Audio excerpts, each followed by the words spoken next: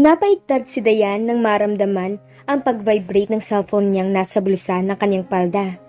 Kasalukuyan siyang naglilikpit ng kanyang mga gamit sa opisina at naghahanda ng umuwi. Nagsalubong ang mga kilay niya nang makitang walang pangalan ng numerong nasa screen. At sino naman kaya to? Pagkausap niya sa sarili. Ganun pa man ay sinagot niya yon. Hey, nasan ka? Sa boses at tono pa lang nang nasa kabilang linya ay alam na niya kung sino yon. Si Jacob. Dalawang araw na ang lumipas mula nang huli silang mag-usap. Nagkasundo sila noon sa hiningi niyang kondisyon para sa singsing. Yun ay ang kanilang fake engagement. Pero napagkasunduan nilang sa harap lang ng mga kaibigan at kakilala niya. Hindi na niya sinabi na ang dahilan ng gawa-gawa niyang engagement ay ang ex-boyfriend na si Paul. Hindi na nito kailangan pang malaman yon. Napasimangot siya. At saan mo naman nakuha ang number ko? Sita niya. Ibinigay naman ni Dayan sa lalaki ang numerong ginagamit niya para sa trabaho at ilang business matters. Pero hindi yun ang numerong tinawagan nito ngayon. I have my resources, baby. At ano naman ang pinagkaiba nun? You gave me your other number. Pinalagpas na lang niya yon pati ang pagtawag nito sa kanya ng baby. Bakit ka tumawag? Kailangan natin mag-usap. Nasa opisina ka pa ba? Oo, pero paalis na ako. I'll pick you up. At pinutol na ni Jacob ang tawag. Kita mo to, wala talagang modo. Gwapo pa naman sana. I wonder why those girls are going crazy over him. Sabi niya sa sarili. Hindi niya kilala si Jacob kahit pa nasa business world din ito kagaya ng tito niya. Yung may kinalaman lang kasi sa shipping industry ang kilala niya. Kaya ang ginawa ni Dayan, hinanap niya pangalan ni Jacob sa internet. Nalaman niyang ito ngayon ang namamahala sa kumpanyang pagmamayari ng pamilya nito. Ang VGC o Valdez Group of Companies. May nakita rin siyang article tungkol sa past relationships nito. O mas tamang sabihing past flings. The guy was a notorious playboy. From models to actresses, celebrities to heiresses. Para lang itong nagpapalit ng damit sa bilis magpalit ng karelasyon. Pero nakasulat din sa article na isang taon na rin itong single at isa yung malaking misteryo. Kaya nasali ang pangalan ni Jacob sa listahan ng most eligible bachelors ng isang sikat na women's magazine. Kinuha na ni Dayan ang bag at lumabas ng opisina. Bumaba na siya sa ground floor. Napagdesisyonan niyang hintayin na lang si Jacob sa labas ng building Ilang saglit lang siyang nakatayo roon nang tumigil sa harap niya ang isang itim na sasakyan. Bumukas ang pinto sa passenger seat. What a gentleman! Sa isip niya, hindi man lang ito bumaba ng sasakyan para pagbuksan siya ng maayos. Get in! Utos ng lalaki. Pasalamat ito at katatapos lang ng period niya. Kung hindi, ay baka sinigawan na niya ito. Sumunod siya sa utos ng lalaki at isinara ang pinto. Nang nasa loob na ng sasakyan ay doon lang niya nakita ng mabuti si Jacob. Bakit parang mas gumagwapo yata ito? Agad niyang sinaway ang sarili. Ibinalik na nito ang sasakyan sa kalsada. Napaisip si Dayan kung ano ang dahilan at nakipagkita si Jacob sa kanya. What is it? Hindi na niya napigilang itanong. Remember our deal? Sinabi mo magpapanggap lang tayo sa harap ng kakilala mo at nakakakilala sa'yo. Nakatuon lang ang tingin nito sa kalsada. Napag-usapan at napagkasunduan na nila yon. Pero hindi pa rin komportable si Dayan sa isiping magpanggap na fiancé nito. Isipin lang niyang maging sweet dito kahit hindi totoo ay nangingilabot na siya. She had never been sweet to any man in a romantic way in her whole life. Kahit kay Paul, hindi siya ang tipong showy at mahilig mag-PDA. Well, dugtong nito. That won't be the case now. Anong ibig mong sabihin? That means we have to act engaged in front of every living being from now on. What? Bulalas niya. No! Bumuntong hininga si Jacob. But we don't have a choice, baby. Remember that friend of yours? Was it Thea? Si Thea. Ano naman ang kinalaman ng babaeng yon? Nasa isang event ako kanina and she was there with her boyfriend. Si Paul ang tinutukoy nito na natili siyang tahimik. At simple lang naman ang ginawa niya. Sarkastikong sabi nito. Parang inannounce lang naman niya sa lahat ng naroroon, including the press, na ikakasal na ako. Maang siyang napatingin kay Jacob. Muntik na niyang makalimutang kilalang personalidad pala ito. For being the owner of one of the biggest companies in the Philippines and for being a playboy. So, the whole world is now expecting me to show them who the lucky girl was. Tumigil ang sasakyan dahil inabutan sila ng red traffic light. He took that chance to look at her. At binigyan siya nito ng isang sarkastikong ngiti. Napayukyok si Dayan sa passenger seat. Ano bang pinasok niya? Hindi siya nag-iisip. Natapik na lang niya ang kanyang noo. Hindi niya alam kung ano ang gagawin. The Playboy Tycoon is getting married. Who is the bride? Natigilan si Dayan nang mahagip ng paningin ang headline na yon sa jeryong binabasa ng isang lalaki sa mesang hindi kalayuan sa kanya. Nasa cafe siya ngayon na madalas niyang puntahan bago pumunta sa opisina. Si Jacob ang tinutukoy sa headline dahil nasa front page ang picture nito. Hindi niya yung pinansin. Niyuko niya ang laptop sa mesa at binuksan. Mag internet muna siya.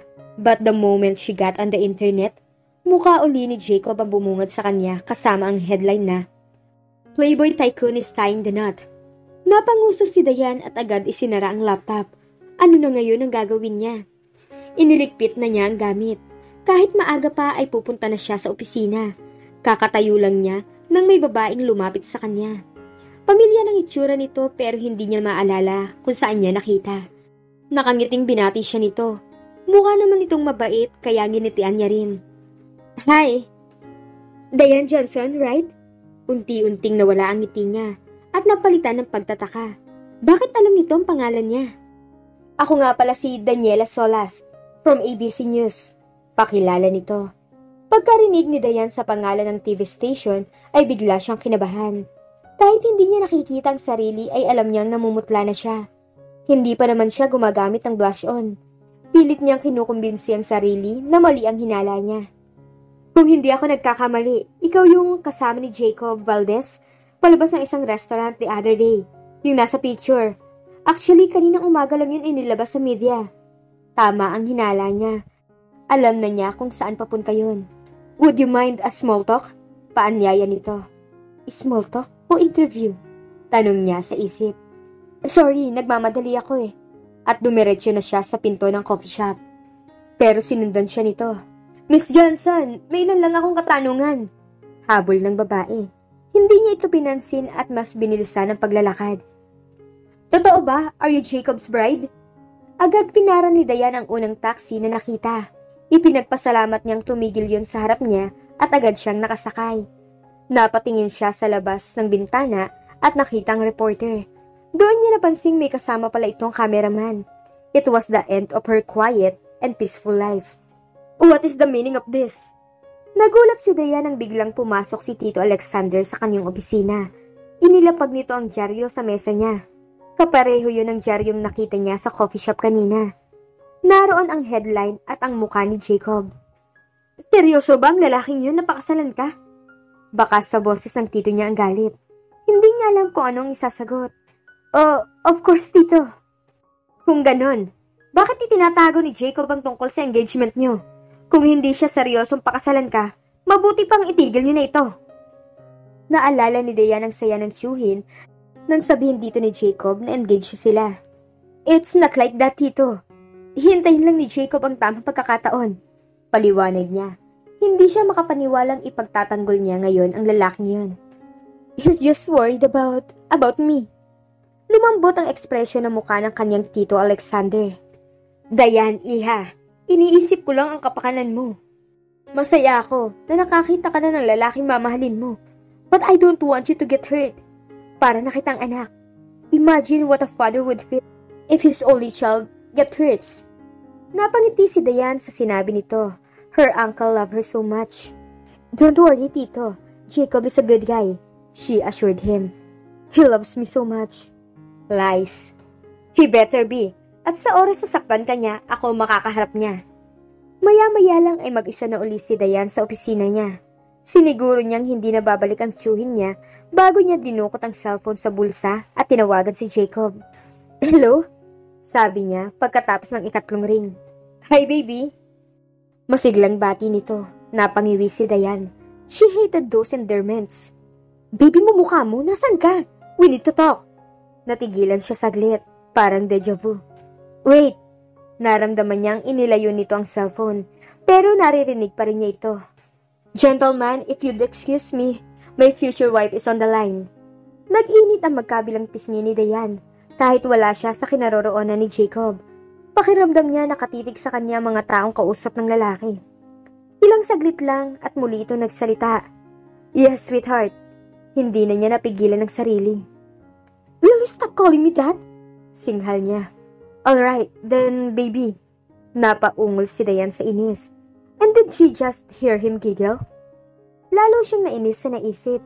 Napatingin si Dayan sa picture nilang dalawa sa screen ng laptop niya na nakita niya sa internet. Kuha yun ng palabas silang dalawa sa restaurant noong araw na sinabi ni Jacob sa tito niyang engaged na sila. I think I know what you wanna talk about. Is it the news? What about it? Kung kumilos ang lalaki ay parang wala itong pakialam sa nangyayari. Why is it on the news? Tanong ni Dayan kahit alam na niya ang sagot. Ano naman ang problema doon? We already talk about it. Kagabi lang nila na pag-usapan yon. Hindi niya inisip na magiging ganun kabilis. Ano pa ba ang aasahan niya? Mabilis pa sa alas 4 ang media. At dahil na pag-usapan na rin natin ngayon, free ka ba mamayang gabi at 8? Bakit? Monotonous na tanong niya. Just answer me. He sounded jolly. Napabuntong hininga si Dayan. Hindi, marami akong gagawin sa opisina. I see, that's all right. Baby, I have to go. I'll call you later. Sinabing wag mo akong tatawagin. Pinutol na nito ang linya. Hmm, nakakainis ka talaga, Jacob Valdez. Napangat ng tingin si Dayan nang marinig ang katok sa pinto ng kanyang opisina. Nakadungaw doon si Tito Alexander. Napatingin siya sa digital clock na nakapatong sa kanyang mesa. It was 9.30 in the evening. Tito, bakit narito pa kayo? Madalas na siya na lang ang tao roon kapag ganong oras. Ah, napasarap ang usapan. Sagot nito. And Jacob here played chess with me. Natalo ko siya. Pero sa palagay ko, sinasadya niya lang magpatalo.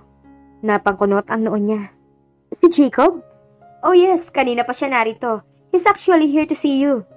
Nilakihan nito ang siwang ng pinto at naroon nga si Jacob.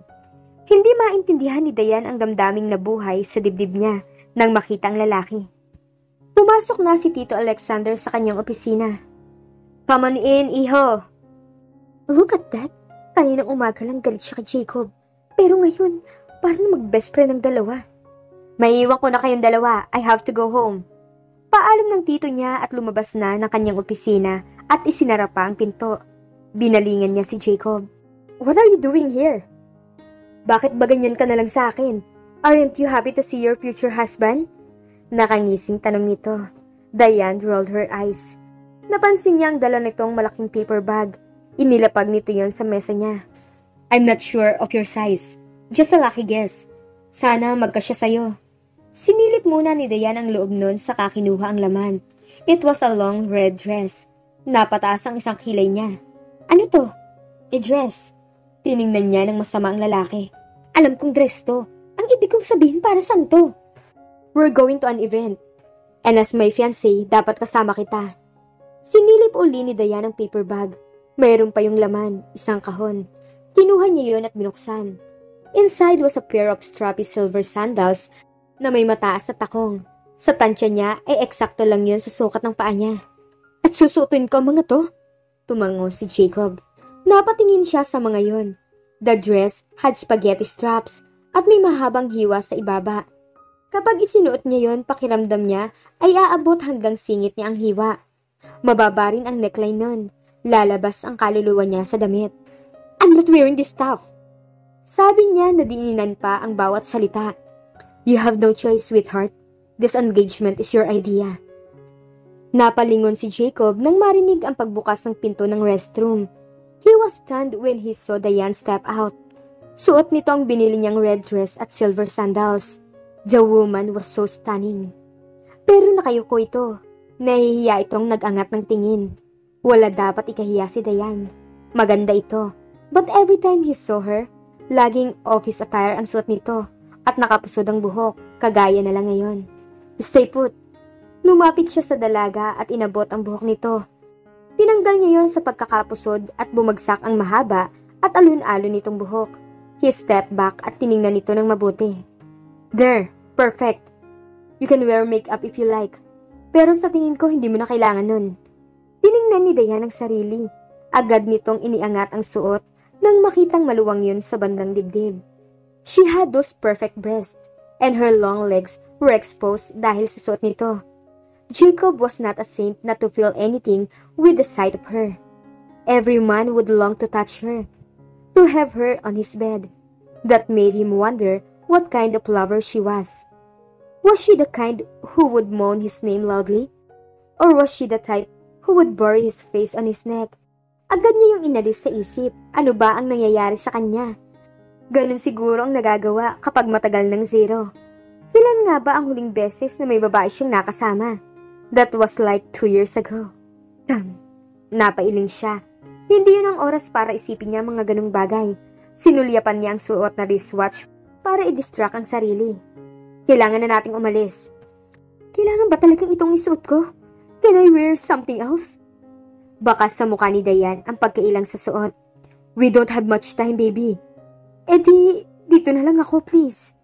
Nagmamakaawa ang tingin nito. Napakagat ito sa ibabang labi. Habang hinihintay ang sagot niya. Oh, please. Jacob could feel himself getting hard down there. Masama ito. Walang ibang tao sa palapag. There was just the two of them. They had to get out of there. Baka hindi niya mapigilan ang sarili.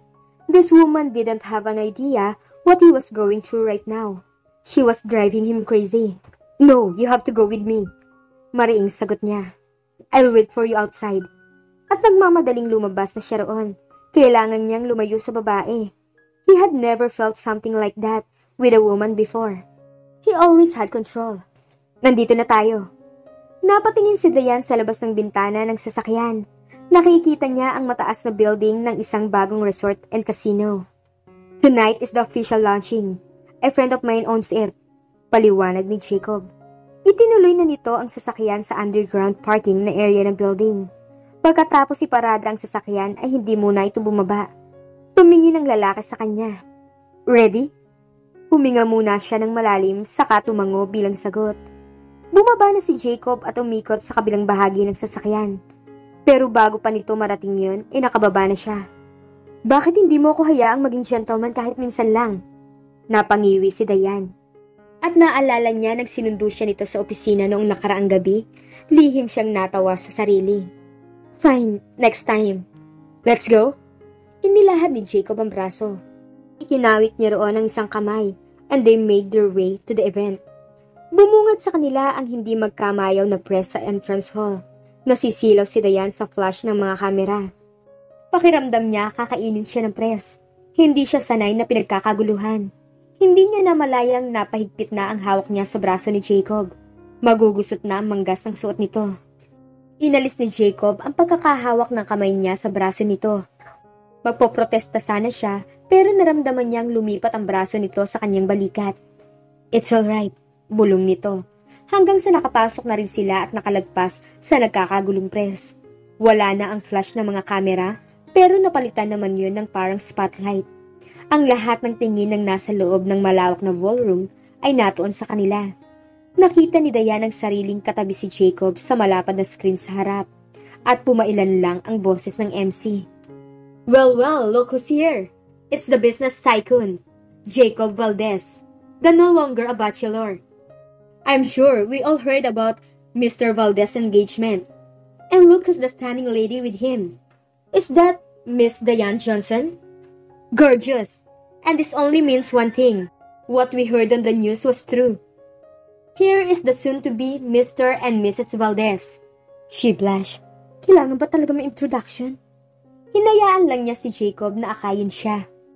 Kahit may iba nang ipinapakilala ang MC at hindi na nakatuon sa kanilang spotlight, sa kanila pa rin nakasunod ang mga mata ng mga naroroon. Parang gusto niyang magtago. Gusto niyang sumiksik sa isang sulok hanggang sa hindi na siya makita ng mga tao. Narating nila ang isang mesa. Ipinaghila siya ni Jacob ng upuan. Nang makaupo na siya, kumuha si Jacob ng isa pang upuan at itinabi sa kinauupuan niya. Umupo ito roon at ipinatong ang braso sa sandali ng upuan niya. Hindi makagalaw si Dayan. Napakalapit ito at pakiramdam niya, konting kilos lang ay magdidikit na sila. She could smell his scent. So masculine. Are you alright? Pabulong na tanong ni Jacob. She could feel his warm breath on her neck. Kakaibang kiliti ang binigay nun. I'm fine. Gosh, bakit ang init dito? Mahina yata ang aircon. Pinigilan niyang magpaypay ng sarili. Sabay silang napalingon sa entrance nang marinig nila ang sunod na ipinakilala ng MC. Sina Thea at Paul. Napigil ni Diane ang kanyang paghinga. Napatingin siya sa malapad na screen na nakafocus sa mag-boyfriend. Napakunot ang noon ni Diane. Pansin niya ang lungkot sa mga mata ni Paul. Nakangiti ito pero hindi yun umabot sa mga mata. Why? Hindi ba dapat masaya ito? Doon niya na-realize na wala na ang kabang nararamdaman niya kapag makikita si Paul. May konting kirot sa dibdib niya pero hindi yun katulad ng dati. Had she move on? Siguro unti-unti na niyang natatanggap ang lahat kaya nabawasan ang sakit. Nagihilom na ang sugat sa puso niya. I'll get us something to drink. Bulong ni Jacob. Pabalik ang isip niya sa kasalukuyan. Sinundan niya ng tingin si Jacob habang palayo ito hanggang sa hindi na niya makita dahil sa dami ng mga naroroon. May tumikhim sa bandang likuran niya. Nilingon niya ito. Hello there, you must be Dayan. Sabi ng isang lalaki. Inilahad nito ang kanyang kamay. Call me Tyrone, Jacob's friend. Pakilala nito. Napatitig si Dayan dito. Mahaba ang buhok nito na nakatali sa likod ng leeg. And he had that perfectly handsome face and those green eyes. Sa unang tingin ay iisipin isa itong character sa isang Hollywood movie. Isang antagonist. There was something in him.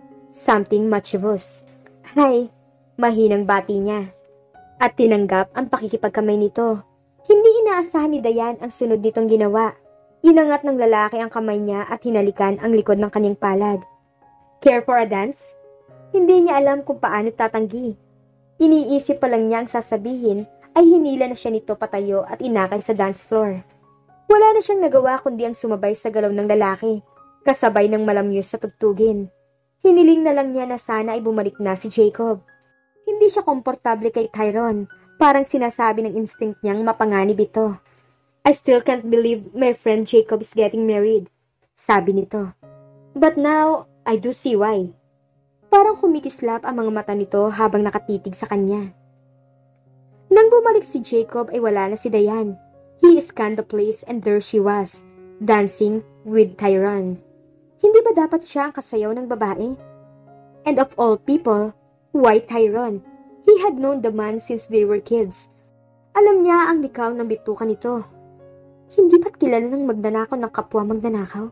Sarkastikong sabi ng isang parte ng kanyang isip. Naningkit ang mga mata ni Jacob nang makitang inilapit ng lalaki ang mukha kay Dayan. May ibinulong ito sa babae. The distance between the two was not reasonable for two people who just met. Sobrang lapit na mga ito sa isa't isa. He was infuriated when he saw Diane lap with him. Para nagkakasiyahan ng dalawa. Diane was enjoying Tyrone's company.